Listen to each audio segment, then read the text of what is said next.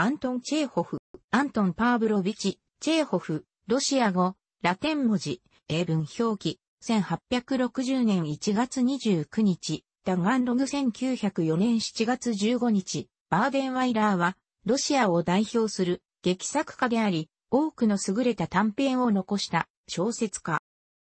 アントン・チェーホフは、父パーベル・エゴーロビチ・チェーホフと、母エブゲーニア・ヤーコブレブナ・チェーホワの三男として生まれた。兄に、アレクサンドル、ニコライ、弟に、イバン、ミハイル、妹に、マリアがいる。父方の祖父エゴールは濃度だったが、領主に身代金を支払って一家の自由を獲得した。父パーベルはダガンログで雑貨店を営んでいた。1876年に一家は破産し、夜逃げしてモスクワに移住した。しかし、アントンだけがタガンログに残って、タガンログ古典科中学で勉学を続けた。この頃から詩や戯曲などを書いていたと言われていて、作品名こそ伝えられてはいるが、作品そのものは現存していない。1879年に中学を卒業して、モスクワに移り、モスクワ大学医学部に入学した。アントーシャチェ・フォンテーなど、複数のペンネームを用いて雑誌にユーモア短編を寄稿するようになった。学業と作家活動を兼ねる多忙な日々を送り、アントンの友人が家を訪れると、父であるパーベルが、今アントンは忙しいからと来訪を断ることも多々あったという。1884年には医学部を卒業し、医師としての資格を得、また実際に医師として診察などを行うようになった。こういったエピソードが伝える通り早熟な男子であり、母エブゲーニアや妹マリアは、アントンが泣いたことは見たことがないと回想している。作家として駆け出しの頃のチェーホフがユーモア短編を主に書いていたことはよく知られているが、それは生活費を得るためという現実的な要請によるものだった。いわゆる本格的な作家への転機となったのは1886年に、老作家ドミートリー・グリゴロービチから激励と忠告を受けたことだったと言われている。グリゴロービチは、チェーホフの文筆家としての才能を称賛しつつ、ユーモア短編の量産は、せっかくの才能を浪費するものだと警告したのだった。これを機にテーホフは、文学的な作品の創作に真摯に取り組むようになり、幸福、足笛、荒野、灯火などの優れた作品が生まれたと見ることもできよう。1887年に書かれた初の本格的な長編戯曲、イワーノフは、翌1888年の初演の評判こそよくなかったものの、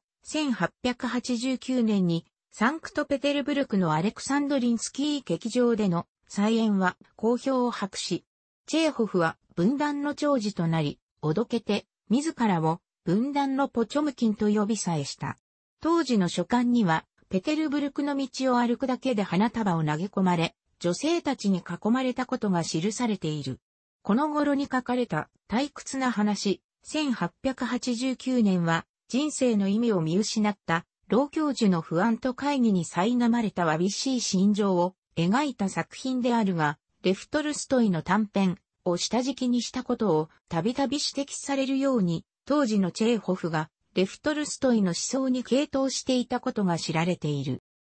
1890年の4月から12月にかけて、チェーホフは当時流刑地として使用されていたサハリン島へ突然出かけ、過酷な囚人たちの生活や環境をつぶさに観察し、記録を残した。この時の見聞は旅行記、サハリン島としてまとめられて出版されており、サハリン旅行を作家、チェーホフの転機とみなす指摘は少なくない。翌1891年には新聞社を経営していたアレクセイ・スボーリンと共に西ヨーロッパを訪れた。スボーリンはチェーホフの作品をいくつも出版していた人物であり、二人は長く親密な友人関係を築いていた。しかし、ドレフィス事件を受けて、アルフレド・ドレフィスを擁護したチェーホフは、スボーリンと対立し、両者の関係は決裂するに至る。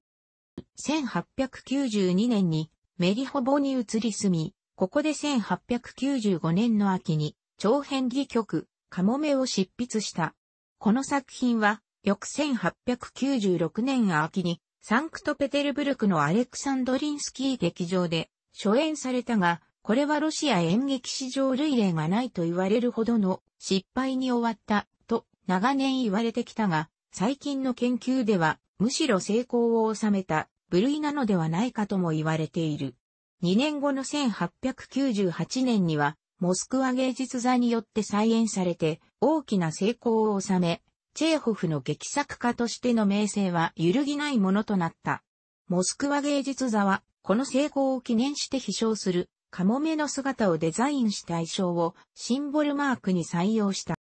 この1898年にチェーホフはヤルタに家を建て、翌1899年に同地に移り住んだ。ここで短編小説、犬を連れた奥さんなどを執筆した。またこの1899年には、モスクワ芸術座でワーニャ白布さんが初演され、1901年には同じく、モスクワ芸術座で三人姉妹が初演された。この時、マーシャ役を演じた女優、オリガ・クニッペルと同年5月に結婚した。1904年には最後の作品、桜の園がやはりモスクワ芸術座によって初演された。桜の園が初演された1月17日は、チェーフの44歳の誕生日であり、チェーホフ筆歴25年の祝賀が兼ねられていた。だがチェーホフはすでに闇を衰えており、舞台に立ち続けることはできなかった。同年6月に、結核の治療のためドイツのバーデンワイラーに転治療養したが、7月15日に同地で亡くなった。最後の言葉はドイツ語で、私は死ぬであったと伝えられる。現在は、ノボデビチ墓地に葬られている。アントン・チェーホフは、ロシア文学の中で、あるいは世界文学史でも有数の巧みな小説作家である。チェーホフは短編小説により、19世紀末にロシア文学史の流れに革命を起こしたと言える。当時ロシアの分断では長編こそが小説であるという風潮が強く、チェーホフのように第一線で短編小説を絶えず発表した書き手はいなかった。しばしばフランスの義、ド・モーパッサンとも比較されるが、伏線を計算して配置するプロットに技巧を凝らした小説はあまり関心を持たなかったとされる。モーパッサンが出来事に焦点を当てたのに対し、チェーホフは人物に目を注いだと言えるかもしれない。典型的なチェーホフの物語は外的な筋をほとんど持たない。その中心は登場人物たちの内面にあり、会話の端や細かな言葉、と書きに注目するほかない。しばしば語られることではあるが、チェーホフの小説や劇においては何も起こらない。あるいは、ロシア人研究者チュダコーフが指摘するように、何かが起こっても何も起こらない。チェーホフが内面のドラマを展開させる独自の手法を持っていたことは疑いようもないだろう。小説だけでなく、チェーホフは最晩年の作品である戯曲、カモメ、三人姉妹、ワーニャ白夫さん、桜の園の作者として、伝統的な戯曲と対局をなす、新たな領域を切り開いた劇作家もある。これらの作品の与えたインパクトの多くは、例えば、カモメの終幕に代表される、巧みなアンチクライマックス、トンジ法による演劇革命を起こした。1に、主人公という考え方を舞台から追放した。2に主題という偉そうなものと絶縁した。3に、筋立ての作り方を変えた。ソ連時代には、文豪、チェーホフというイメージにかなう、紳士、チェーホフという人物像が政治的に当てはめられていた。当時出版された、チェーホフ全集などで、家族がそれに当てはまらない箇所を削除したことが分かっている。日本でも、チェーホフ作品の翻訳者として知られた、神在清による、チェーホフは酒を立っていたなどの言葉で知られているように、紳士、チェーホフ像は一人歩きをしていたと言える。しかし、チェーホフはむしろ主語の部類に入る人間であったし、書簡などを読めばいわゆる下ネタを嫌っていたわけでもなく、オリガとの交際中も複数の女性と関係を持っていたことは電気的な事実である。彼が文豪であったことは間違いないが、こういった紳士的でない人間臭い側面もまた、チェーホフの魅力でることは言うまでもないだろう。チェーホフ自身は象徴主義的な方法による演劇を嫌っており、カモメの中でコスチャの劇中劇としてパロディ化したが、同時に象徴派の詩人モーリス・メーテルリンクから大きな影響を受けたとも告白している。他に影響を受けた劇作家にイプセンがいる。カモメはイプセンのノガモ、チェーホフが気に入っていた作品の一つ抜きに今日演じられるものにはならず、全く書かれなかった可能性もあった。没後ロシア文学界では、チェーホフの評価は高かったものの、第一次世界大戦最中、コンスタンス・ガーネットによって作品が英訳された後も、国際的な評価は低かった。